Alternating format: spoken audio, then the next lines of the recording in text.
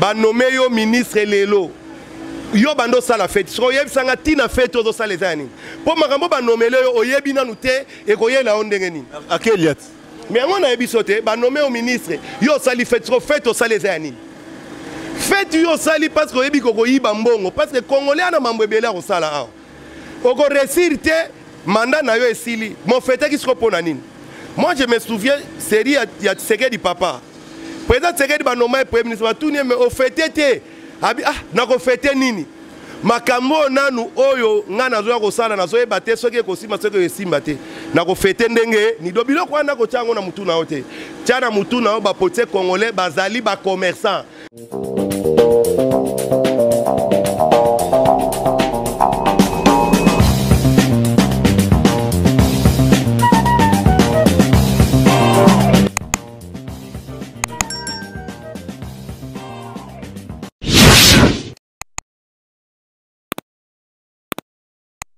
ezalaka esengo koyeba ke bozalaka vraiment meke meke liboso baetando bino ke mpona kozelaka toujours maestro nayebisa bino ke biso toyaka kaka na basango mpa toyebisa bino ah, babi angele jeka tv oui ya esika nini basango elobamaka esika nini tolobaka makambo sans froid aussi nous nous parlons congo tobandaka kaka kolobela congo eza po parce qu'il faut kaka tolobela congo glodi kasongo les boss balobi tv5 garçon de lix depuis états-unis toza kobo biso tokosaka mosala parce que cordon sadie kabongo alobaki tosala mosala ndenge esengeli parce toza na choix te nga maestro nayaka nangaka na mosala ya bongo te papa jean bosco lubaki motema ya mama kato lutete depuis dublin napesi bino bambo te ya lelo eza nini moïse comprendre ke naza sunga moko te mpo nga nayaka na basango nayaka kobeta masolo parce que mboko ya masolo ebele fo tosololaka lelo na misu moko ya baye bazalaka toujours na maloba ya koloba bango bazalaka wana kaka mpo na kolobelaka mboka bango balobaki fo tolobelaka mboka parce que mboka oyo soki tolobeli yango te banyama te banzete mpe te moto oye kolobelaka yango cette fois-ci toyambi nani cette fois-ci toyambi edo ya ngani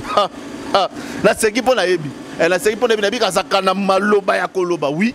il parle tellement bien yango tolukaki evlep na tosolola ye aza proche ya pouvoir makambo ezoleka ebele ebele fo tobeta bamasolo nango eza vraiment ebele fo tosolola avec autorisation ya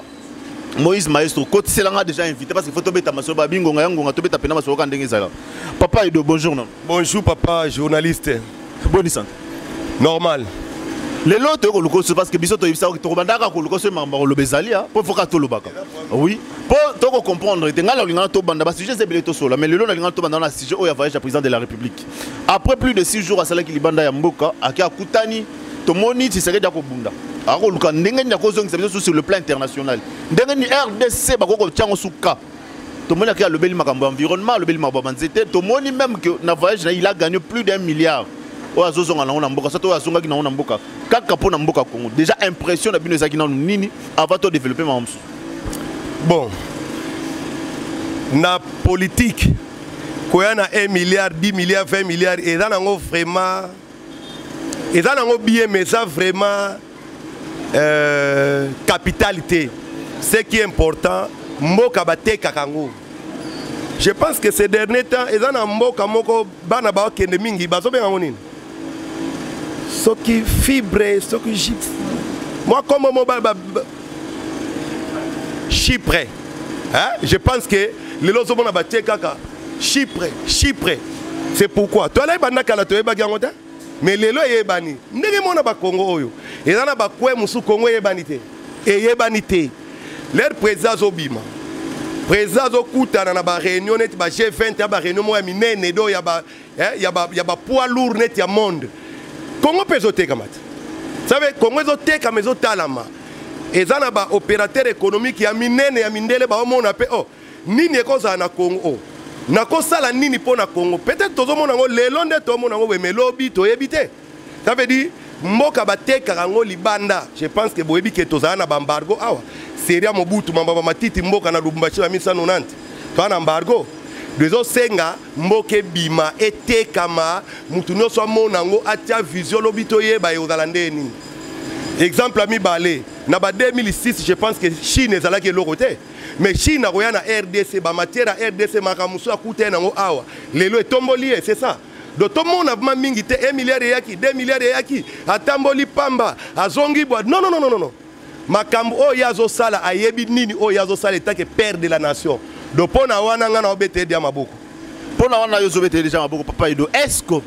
après voyage ya tshisekedi wana esengaki mpenza tomona etuluku ya bato tomonaki na aéroport c'est comme si yo yango omona yo landi me bandeko mosusu ya ngambo opposition balobi c'est comme si kabila aza na ye kaka tosaki kabila faisait hier obino botelemela lelo tomoni yango sensibilisation bambongo ebimi ya leta mpo bakeyamba tisaidi na aéroport est ce que ezalaki vraiment important te kobima ya mbongo lebi yo olobi ke bapesaki mbo moto azala na volonté te so opesi moto 5000 to atie sire moto akozwa 5000 adispose journée na ye mwa mpo na 5000 nalobi te epesamaki napesi yo exemple parce que je ne crois pas na bato ebele ndenge wana okopesa yango 10 000 10 opesa yango combien wana ba faux débat nalobaka na yo à tout moment à tout moment to wana oyo nalobaka na yo mpasi na biso na congo upasi ya baopoza na congo baza populaire te président tshisekedi aleki bango na popularité wana ezalaki neti rapport ezalaki neti barapport de force cela veut dire bakoloba te neti kabila aza neti non non non non non batika président honoraire avanda na kwe na ye parce que président honoraire na 18 ans bayamba ye na bongo te so bokompana yango nde bayamba ye na bongo te voyage ni président de la voyage nini ex président ya uta poto aye bato bayambi ye lolenge nde bayambi tisekedi président tisekedi parce que alingaka te peut-être parce que kabila azalaka plus discret eza mambo ya olinga te papa azalaki discret eza mambo ya olinga omoni nalobaka no à tout moment kolinga te okomisa mutu mabe linga okuta mutu na mabe bango nde bazolinga bakomisa président tisekedi mabe oza comprendre donc yango omoni ezokomela bango na badifficulté moko ya makasi ngai naza politicien oyo naliaka eloko te cela veut dire je suis analyste ni contre ni pour olanda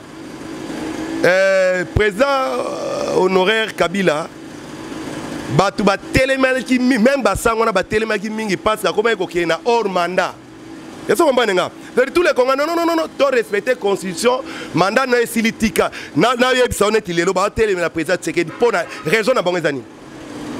na jour oyo olingi okotisa biso mbala moko na bamituna tozalaki nango deja mpo na kotuna mpo tosisana likambo ya président de la république oyo oh, lelo bayambaki tomonai bato nde bayambaki parce que est ce que oyebi ke inc ayi adénonce qu'il y avait 40 000 dollars ebandaki kobima na baparti politique ebandaki kobima ebimaki mpo na sensibilisation wana mpo na président ya te omoni josé nayebisaka yo oza journaliste ya monene ya investigation eza bajournaliste mosusu tomona na televizio na peut-être mpo na motivation ya mbongo me ngai nayebi bacapacité na yo fo osalaka très attention na bapoliticien ieni sala na parti au pouvoir soki tobimisi mbongo mpo na pop popularité ya biso donc honneur na biso yo odenonsa yo ndeni parce que azalaki d'accord te eza na biloko toboyaki la fois passée te eza kaka baposition ya bato comprendre baposition ya bato omoni motu aa na union sacré mais azoboya union sacré asala de mandat c'est ça nalobaka na yo hein? ngai naza politicien koleka bapolitisien ebele omonaka na tv naleki bango mosika napesa exemple motu neti petia confiance ya vérité des îles wana politicien natunaka na nzela no natuna yo na prince penge bowelani eh, problème na ngai ezali mpo namonaka ifala aluka nde mosala ata journalier mpa balibanais mpasi aa politicien te politicien fo oyeba kosala analyse politicien aza mpo na ingire te oyo mpo lopresse epenga azaka nde politicien te namona ye politicien te epuis omoni regret mona alaka nango parti politike batikele na chalupa ti lelo alobela yango te c'est ça le problème neti mambo alobaka na tv meme lelo est ce que oyebi ke président de république ako engage oka ndenge oleka na média ba vital kamere bazwa misala na media ça veut dire faut lakisa mingi mayele no na media na media so ozolakisa mayele te eza neti osala no eloko te basalaka politique te mpo oleka na tv bato bamona o non lere ozoleka na télévision convaincre bato je suis intelligent je sais analyser je suis politicien c'est ça yoko oleka te exemple enfin bater e eh, boye non non non non non bimisa mayele na yo na television batikeli yo parti politike olobela yango te mosusu mpe parti politike ne alobelaka yango te baza kaka na lamuka na bato balobaki keno bakocreye bainsécurité mpo bevesele baya te bazotuna lelo ke bazotama vese baoya te nde mele bino bolobaki ke bocreye baclima insécurité bevese baya te idée na bino ezalaki nini en parlant ya babiloko ozoloba na sikoyo nalingi tokota nano na loko babenga lelo bloc patriotique oyo tomoni bana mboka basangani wi mpo babana mboka bana mboka basangani tomoni clc tomoni senco tomoni lamuka tomoni basangani presera ebele balobi banosai marche na bango natika nini tika natuna na motuna ti naotuna motuna ti permete nga natuna motuna me permete nga natuna bloc patriotique wana esalemi esengi que ba marche parce que baza ko telemela lelo makambo maye matali seni parce que baza d'abord d'accord te na président obino bocheli bato na seni denis kadima entre autres babengi aza muluba aza proche ya félix antoine tshisekedi tshilombo mais vous l'avez imposé na population yango bango baloki bakomarche donc lelo tokomona martin fayulu joseph kabila bon moïse jusqu'à azobanga mpena koloba mais tomona bango basangani bloc wana mpo basala marche est ce que ekobangisa pouvoir en place te papa nalobaki na yo tosali bemission ebele na yo nalobaka na yo kala ke eside ezalaka sous ordre ya fcc naloba na yo na bamamu nyonso baosala awa producteur na bango azali apesaka bango mbongo nayebisaki yo alors producteur wana aza ya lelo te bango bazala deya badepute ya fcc depuis kala depuis ba 2006 eza na eloko mo te tomona ezoya ya sika ke bato mo baye me eloko esali nga mpasi na motema na ngai e mikolo ekoya tokosala tokomeka mwa moke koraisonne pour que peuple congolais a se retrouver il faut mingi a se confie na ba ong ya bato oyo bamonake no baza na mposa ya koyede mboka et non na baparti politique parce que mpasi na ngai ezali okeyebisana ke non ba patriotique bato wana baa banani nano yo otangelaka na nani na nani nano eza martin fayulu ah. eza senco eza joseph kabila na fcc na ye bango nde basangani basali bloc patriotique wana ngai nkombo ya président esido papa nakomi kolemba koloba yango eloko ya liboso nayebisaka yo na congo hein? nayebi biso lelo c'est un secret mais nasepeli nayebisa yo mpo na tokomisa congo ekoma congo il faut to transformer l'homme congolais en l'homme cela veut dire omoni jour oyo président honoré kabila alobaki ke non échec na ngai ezali na lembani kochange zairoi na congolais aloba mambo ebele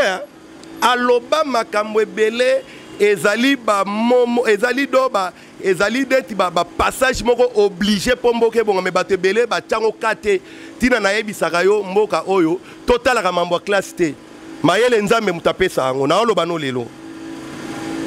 jour oyo peuple congolais akokoma na bomoto bomoto ça veut dire jour peuple congolais akoma conscient mboka oyo tokosala befort te kobonga cela veut dire quoi soki oza conscient moto azosalela yo mosala ese ofute mabe ofute mabe ofute malamu oyebi ke moto aza na mwasi na bana soki nafute 200 000 fois congolais afuta ndako combien akolia combien akofutela bana minerval combien mais comme oza conscient te omona ofute kaka mabe mpo asouffrir ozo comprendre nga tokomi na kote na ye lokola yo oza conscient te otransmettre ye inconscience na yo ye mpe so ayeseyelo mosala efo ayiba yo ayiba yo mpo ye mpe akoka kovivre nde eloko nayebisa ko yango wana alors okobenga mutu patriotique te oyo aza na qualité wana te ndeko na ngai olingo baki kabila na martin fele baza bapatriote te neti na eloko nini ah, mais ce sont des gens qui vont bazobundela mboka te tozomona baluka bien être un peuple congolais babundela nini abundela bien être en congolais ese okobebisa mboka nsima nango komobundela yango mpo ebonga martin fayulu abebisa mboka te senoko mpe abebisa mboka tuni oka question okobebisa mboka nsima obundela yango ebonga On a ni te rien tard ezala. C'est bon, c'est bon. Toza na combien de sociétés oyo président honoraire atikaki ba sociétés ya l'État et que lelo et ba sociétés na eza susu te. Wana eza kobundela mboka to kobebisa mboka. Ba sociétés ya l'État. Tolongwe côté na ye. Tozui neti nde toza awa napesaka exemple moko omonake okobebisa mboka te simobunda mpo ebonga hôpital neti mama yemo wana ezo hôpital eo ekoki koko kotalisa miroir ya Congo na grandeur ya Congo mama yemo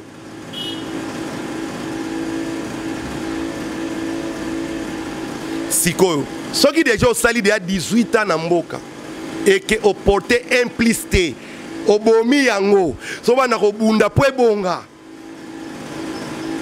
eza pratique mais impossible e, nalobaka na yo kolanda mambo ya bapoliticien te politicien alobaka nde mambo mpo aloba me azoyeba te nini azoloba toye kote ya président eside estce mutu oyo aza vraiment nabenga yango ndenge nini mutu nayebi nde na obenga yango te me nayebi so kaka eza na bamboka mibale te to misato te na monde entier okomona moto atie candidat ya président de la république atie sous candidat ya députation azala te lero rate président okomi député ezala te na monde entier tino na oloba na yo Soki kaka biso ba congolais tokomi na bomoto do tokomi na conscience mambo ebele kochange yango moko claudi ye ya misato yo ozala deya premier ministre na kati ya mboka oyo ezaka na bamakambo oyo otika yango eza ti lelo so ozomarche mpo echange est ce que eza normal mpo na nini te est ce que namoni patriarche moko wana te patriarche moko eza te eza bato baza je ne sais pas je ne me repas baza bapatriarche te lukela bango kombo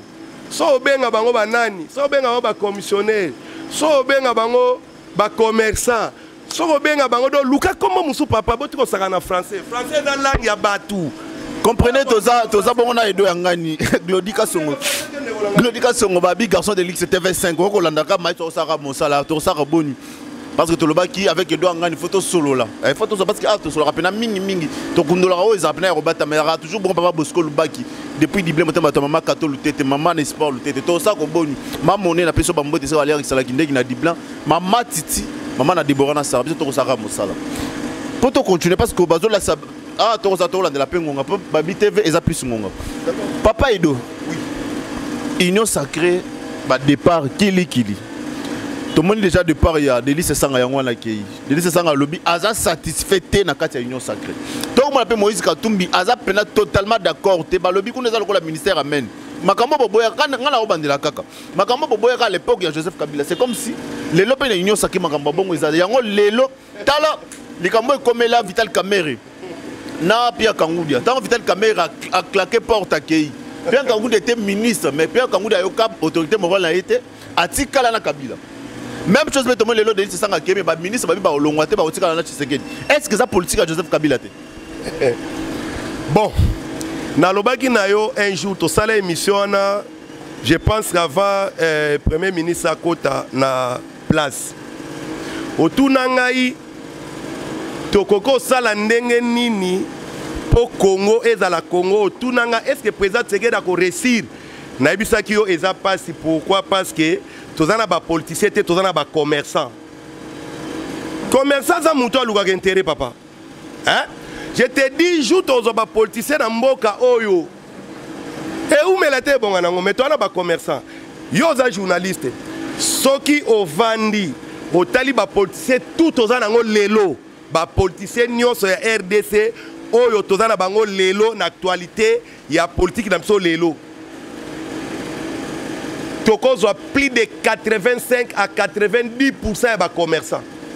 yo moko oloba oyo azalaki commerçant oyaki commerçant oyaki commerçant oyaki cela veut dire politicien na mboka na biso aza commerçant nalobai na bato ebele awa o oh, te président moïse azoya nalobi na bango président moïse aoya na boya te mais bolanda exemple ya pierre kiangudia pierre kiangudi alobaki bien ke na tikali na ngai na famille ya président kabila donc yebaka bato nyonso bakolanda kaka lokolo wana parce que baza bacommerçant donc ils sont là pour leurs intérêts donc kotya no na motema na yo to te napesa oka exemple moko banome yo ministre lelo yo banda osala feti soki oyebisanga ntina feti ozosala eza ya nini mpo makambo banomele yo oyebi nanu te ekoyela yo ndenge nini akeliat me yango nayebi biso te banome yo ministre yo osali fete soko fete osali eza ya nini fete yo osali parce que oyebi kokoyiba mbongo parce que congolais ana mambo ebele akosala awa okoresir te manda na yo esili mofetaki soko mpo na nini moi je me souviens série ya, ya tshisekedi papa président tshisekedi banoma ye premier ministre batuni ye me ofete te abi ah nakofete nini makambo oyo nanu oyo ngai nazoya kosala nazoyeba te soki ekosimba soki esimba te nakofete ndenge nido biloko wana nakotya yango na motu na yo te tya na motu na yo bapotie congolais bazali bacommerçant ça veut dire kote tout ekozala intérêt akoya so te na bamboka mindele baza na de eh, eh, tendance baza na gauche baza na droite Ça veut dire moto akouta na gauche te aya na droite au moins peut-être aapprécie idéologie ya bato ya droite par rapport intérêt ya mboka aapuye yango okouta na droite to ya na gauche outa na gauche oya na droite mpona oza na idéologie awa eza idéologie te c'est l'argent awa ozoloba o kingandi alongwaki akomi awa mais soki moto wana azalaki place wana saint commerce amoni intérêt na eza te avant koma place wana azalaki kote nini bato tu nde baza na bauti mlc baye eh, pprd balongwe idps ba, so otali bapolitisien nyonso okoki te ngai nazalaki na idps e nazalaki yende estce siko idéologie na yo eza nini idéologie na yo politike ezali nini karola di ya papa na tabita dorcas yango toko comprendre ke te tokosolaka karola di ya tobi tobetaka masolo ya mboko mposo tokosala suni papa ido tobamimosa biso sintomokende mpenza malembe malembe vers suka ya biso mais tokoki kosisa te sans tobeta masolo ya mayema koleka lelo procès ya shebeya jusqu'à ce que bakenda kodécouvrir même bamikuwa ya bato na lopango ya jadidia mais il y a un policier ou un capitaine alobi kete bato wana nyonso bando osala sous ordre ya joseph kabila est ce que eza façon ya komema bato pembeni esika kabila azali obe eza façon tisekedi akomoluka akanga kabila to ezali te avant na répondre nanu place wana yo wana nakoya poeme eza te nakoloba yo oyebisaka nanu opose nga question nga natalisi yo toza na bapatriage te baza te nde napesi yo wana mais nga na nga nayeba siko ntina marche wana eza nini fo toke male malembe omo nde toleka asilabisaki yo dejake marche eza mpo na makambo etali seni na ram seni na ram bon toke nao na ram na 2011 premier ministre matata mpono ti na 2018 ndenge pouvoir ekenda osombi saki ya loso saki ya sikre sima ngombe tu oyo okosomba na mboka oyo kofuta 16 ya tva eza nini ram te est-ce que est-ce que est-ce que est-ce que ram ministre alobaki que eza taxe te nalobi boye mais ministre abengaki yango mpe taxe te nalobi boye Voilà TV toyebi que ça taxe. Oui, TV ça taxe. Oui, TV. Mais TV ça taxe. Mais ça taxe. Voilà taxe allez. Ça là n'a pas révolution de modèle. Ram ça. Ram. Problème n'a pas défendre Ram nga azo défendre problème na nga eza nini nazo talisaka ke no soki bino bozo attaquer ram bino mpe mambo bosala donc eza neti nde nayebisaka yo fcc akopesa leçon te na mboko akomeka kutu te ça veut dire yo lembonga baloso basoso bathomson banini 16 pour cent lelo sikoyo yo oya omarche contre ram wana ngai na contre yango soki toye na ram ya ram wana nayebi ke oui desordre ezali parce que ngai ndenge ngai nalanda balobi ke peuple congolais akofuta 7 dollars par année alors 7 dollars par année il faut mpe ezala na ordre moto akosepa na rame te na mboko papa na ordre wana ezali soki par mois moto akofuta exemple 1 dollar point 2 cela veut dire lelo na 2500 soki moto atye exemple sa unité na ye bokati ata nanu 10 lere na otya bokati 10 cela veut dire na rame eloko oyo ezozanga eza ordre nde ezozanga na ram eza ordre epuis tokosenga mbongo na yango esala misala c'est ça mais nakoloba ke biso tozomarche mpo na ram wana ngai nazozongisa bino na tva donc eza kuta sens te mpo na tva mpe tozwa eloko te so otai de 2011 à 2018 namoni eloko etongami te namoni mpe ntina ya ba 16 pourcent ya bato bapesa na baloso bathomson eza te wana tolongwe tokoti na ya makambo ya shebeya papa omoni neti baprocès wana ngai naloba yango mingi te me nasengaka merci na nzambe atalisa biso ndenge mboka ebanda kokende ngai alanda procès wana nalanda procès wana après koboma mutu kokende quelque part kodepose kokende na ndako moko boye komela masanga oyo ngai namelaka eh, eh, eh, kombo ya masanga oh, ngai namelaka turbo ngai namelaka je pense que meme nani magistrat atunaki ajida wana ndenge nini bayebeli yo omelaka dopel o te naza garde de corps ya kingandi aza papa ifale ayeba donc eza eloko moko biso bakongolais eloko aliso fo tosepelaka ndenge nini pouvoir oyo ekomeli parce que je pense que na époque ya ex président totikalaki lisu na mutu moko ntango oloba no epai ya mese kabila ayaki su te là j'insiste azalaki te alors niveau tozokende fo tomonake no tokokende britalement te tozokende malembe malembe meme bato ozolobana soki bapatriotique soki banani soki bapatriage Monsieur Kabila atia ba président ya seni na posa na ye na même village que ye moto asopose azala te mais lelo comme ya la liberté eza ba droit na bango mais mingi mingi faut bayeba bato wana bapretade ya serment seke basala yango kaka mosala pamba donc conseil na kopesa bango oyo amoni ka kolanda papa tisekedi nde asali na 2006 do avaa na ye eza mpe droite abstention mpe eza droit soki oboyi na yo na démocratie ezalaka mpe droit mais ke bachange en tout cas batika olekisa lere eh, batika olekisa lere batika olia mpe baninga mbongo cela veut dire bokopesa mbongo mobilisation napesi 5000 5000 bopesa yenga 20 000 20 000 nakolia mpe mbongo donc batika kolia baninga na bango mbongo batika eleka oyo amoniki akoka baélection te azala mopanzi mais secret ya baélection eza batemoin papa nga naza président naa na pouvoir yo oza opposant soki nakotya président ya seni nakotya na avantage ya nani nga président yo opposant naye natya président se natya avantage ya nani eh, na avantage ya élection te na avantage ya nani ya élection ya élection hein? avantage ya élection est ce que toviva déjà avantage yango ya élection yango nde towana mposa oviva avantage ya élection ne oyo akobima mokonzi ye nde seigneur olo oh. bosoko ndeni bino boyebeli moto abima mokonzi bakopona ye te basi tomesana nango deja bomesana nango te mais zala na batemoin papa zala na bate napesaka exemple eh, président oyo babenga président ya vérité des urnes soki azali na bapreuve na ye peut-être mpe banga balekisa na bango ye comme ayini na bapreuve te ya perda bazala na batemoin ebele Eh papa, ekoma te nde catholique akomaki ote nazalaki na 5000 biro oyo na surveillaki. Le batuni au total yaki 25000 biro te. Bakangisa ba témoin bazala na ba PV batika ko se distraire. Hein? dialogue ekozala te président de psa alobaki dialogue ekozala te donc batraine te Merci beaucoup, merci beaucoup papa Edo. Je crois que c'est biso penasine to komi makambo ezaki ebele ya koloba mais malheureusement ta esali biso défaut.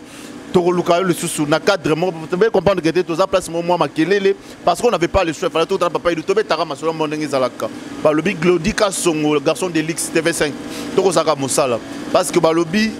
awa ya bango mwa mosala ya bongo te sadie kabongo tokosala nini coordonne tokosaka mosala balobi maître charpentier wana na mposa libaya abengaka nimero wana omona mpenaka te koto mpe makambo ezalaka nango papa edo mot de la fin ya émission lelo kozali parce que tomi vraiment na suka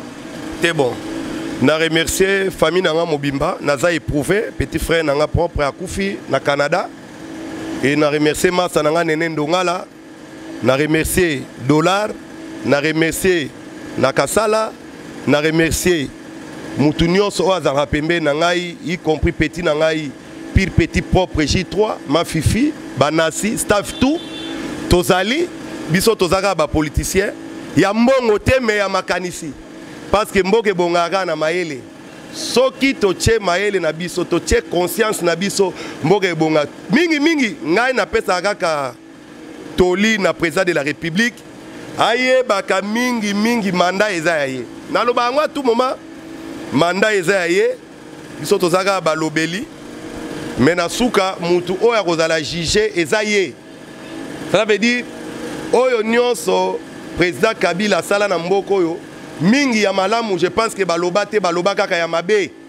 cela veut dire oyo mpe ya mabe nyonso esalema il faut ayeba ke koya kote na ye atalaka bien moto azo soutenir ye azalaka na ye oyo azo soutenir ye te en tout cas abwakaka ye nga problème na nga ezaka yango wana merci parce que bozalaki vraiment ebele bozalaki ebele bolandaki biso tosalaka ninga mayeso esali noki tokosalaka mosala ndenge tomesana kosala merci parce que lelo tozalaki na assistance ya avoldi bambengaka le mignon garçon oui avoldi mignon garçon merci mpo na assistance nsima kamera ezalaka toujours moïse mayeso nde na mesana koyesa bino mayeso azala toujours nsima ya kamera cordon sadie Oui, ça dit kabongo, merci pour la confiance na fidélité bo pesa biso. Biso to sa mosala. Ah oui, to bando sa ni. To bando sa ka msana to lobaka yango. Parce que Glody ka songo depuis États-Unis ba BTV 5 garçons de luxe. Merci pour la confiance pe to pesa so merci.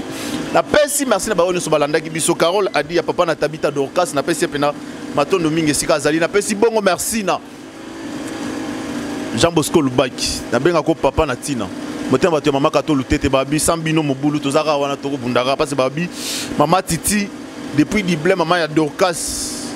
mama ya debora plutôt na sarah merci mama mpasi kokosala mosala tokosantiminaki te oza na maestro okotika ete maestro ozo likambo ezali benga tobengaka mpi tokomprena mpenaki te bozalaka wana merci oncle diopi diopino depuis reine bino nyonso esika bolandaka biso fergani lubaki bino nyonso dakoda costa merci mpo na confiance bopesa na biso ngai maestro nalobaka soki oyo ya ngai yesu azongi te parce rodrik wawa ayebi ke maestro azali akosalaka obe mosala comme si vous étiez tokutana mbala nsima mais je vous ai toujours demandé de vous abonner surtout balobi liker commenter et partager aussi yango nde moto ekosala force ya chaîne soki oyo ya ngai yesu azongi te tozali epuis tokozalaka botika mbambo na bandako na bino merci vraiment